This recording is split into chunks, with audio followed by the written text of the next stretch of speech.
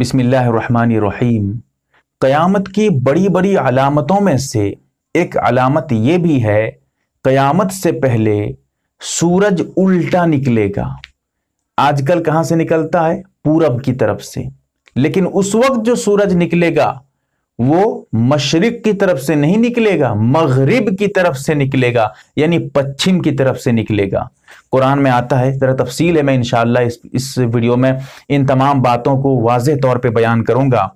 कुरान की आयत है, कुरान में अल्लाह रबुल्ज़त सूर्य यासीन में इरशाद फरमाता है व शम्स तजरी ली मुस्तकर यानी सूरज का एक ठिकाना है, कुरान में कहा जाता है। कुरान में यह आया है अब जरा इसकी वजाहत सुन लीजिए। अल्लाह के रसूल सल्लल्लाहु अलैहि वसल्लम हज़रत अबूजर गिफारी रदी अल्लाह तन से इरशाद फरमाते हैं कि क्या तुम जानते हो कि सूरज डूबने के बाद, सूरज गुरूब होने के बाद कहाँ जाता है? हज़रत अबूजर गिफारी रदी अल्लाह तन इरशाद फरमाते हैं कि, या रसूल अल्लाह मालूम नहीं, आप इरशाद फरमाए, आप ज़्यादा जानने वाले हैं। तो अल्लाह के रसूल सल्लल्लाहु अलैहि वसल्लम इरशाद फरमाते हैं, सूरज गुरूब होने के बाद अल्लाह रब्बुल इज़्ज़त की दरबार में जाता है अर्श के नीचे जाता है, अल्लाह की कुर्सी के नीचे जाता है, फिर वो सजदे में गिर जाता है, सजदा करता है, अल्लाह के सामने सजदे में चला जाता है, फिर उसके बाद उसका सजदा कबूल होता है और उसे इजाज़त दी जाती है कि चल, अगले दिन फिर तू तुलू हो जा, अपनी जगह से तू वापस आ जा। यानी फिर उसको अपने ठिकाने पर पहुँचा दिया जाता है, फिर से वो पूरब की तरफ़ से, यानी मशरक की तरफ़ से निकलना शुरू कर देता है। रोज़ाना का मामूल ये होता है। लेकिन कयामत से पहले एक दिन ऐसा होगा, ये मेरी बात नहीं है, हदीस की बात है, अल्लाह के रसूल सल्लल्लाहु अलैहि वसल्लम की बात है। हर ईमान वाले को हर मुसलमान को को इस पे यकीन है और भरोसा है और इस पे यकीन रखना भी पड़ेगा क्योंकि ये सरवर आलम मोहम्मद सल्लल्लाहु अलैहि वसल्लम की बात है। कौन झुटला सकता है? ये वाकया, ये मंजर होके रहेगा एक दिन न एक दिन। तो हदीस में आता है, अल्लाह के रसूल सल्लल्लाहु अलैहि वसल्लम इरशाद फरमाते हैं, एक दिन ऐसा होगा, सूरज सजदे में चला जाएगा, अब उसका सजदा कबूल नहीं होगा। उससे कहा जाएगा कि तू जिधर से आया था, उधर ही लौट जा।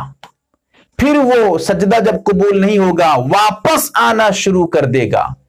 वो रात, अजीब गरीब रात होगी। क्योंकि सूरज के डूबने के बाद का मामला होगा ये। सूरज के डूबने के बाद रात हो जाती है। वो रात हदीस में आता है, जैसा कि हज़रत शाह साहब ने भी लिखा है किताबों में तीन चार दिन जो रात होती है तीन चार रात के बराबर वो वक्त होगा।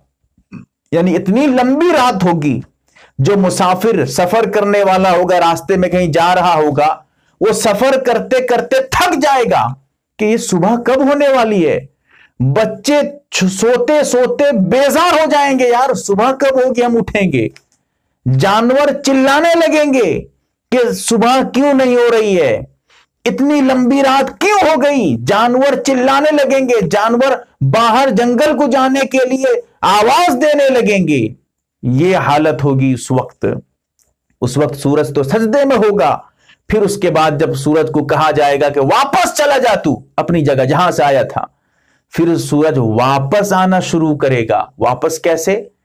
जिस तरफ़ से गया था, जिस तरफ़ सूरज आज भी डूबता है उसी तरफ़ से वो आएगा। कैसे?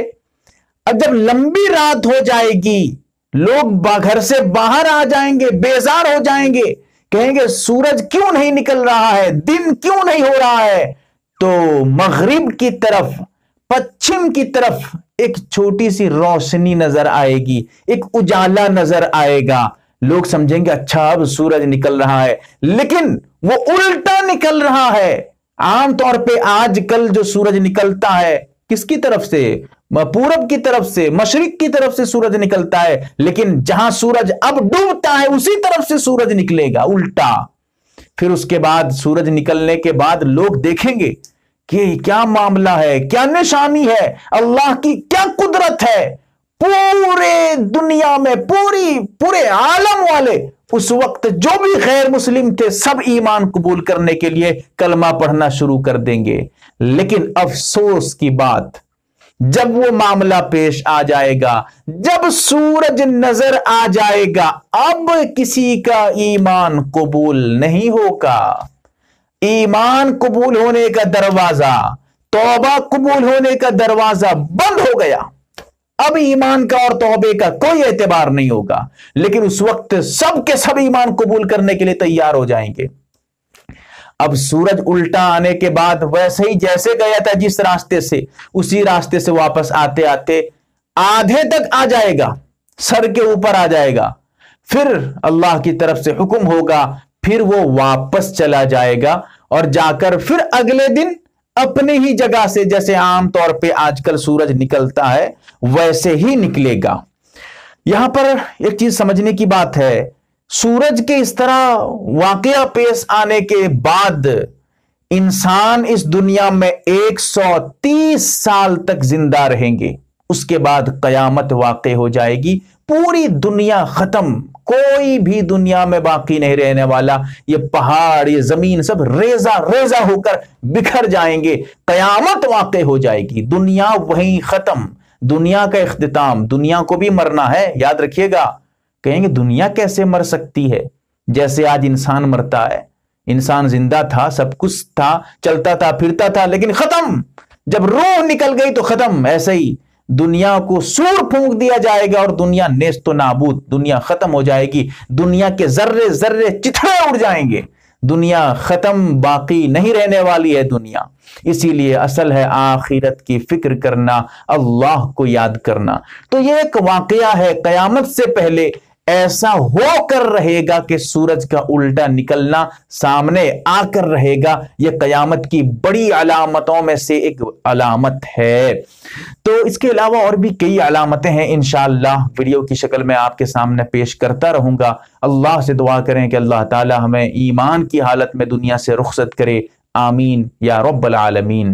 आप देख रहे हैं यम ए आर बी दीनी मालूम यूट्यूब चैनल। चैनल को सब्सक्राइब करें, वीडियो को लाइक और शेयर करें। फेसबुक ट्विटर इंस्टाग्राम और टेलीग्राम पर आप हमें फॉलो कर सकते हैं। हमारी वीडियोस आप अपने चैनल पर डाल सकते हैं। हमारी तरफ़ से इजाज़त है। हमारे साथ व्हाट्सएप पर जुड़ने के लिए आप अपने व्हाट्सएप से अपना नाम और फुल एड्रेस के साथ ऐड लिखकर हमारे व्हाट्सएप नंबर एट को मैसेज करें। और हमारा काम पसंद आए तो गूगल पे फ़ोन पे या बैंक अकाउंट के ज़रिए मदद कर सकते हैं।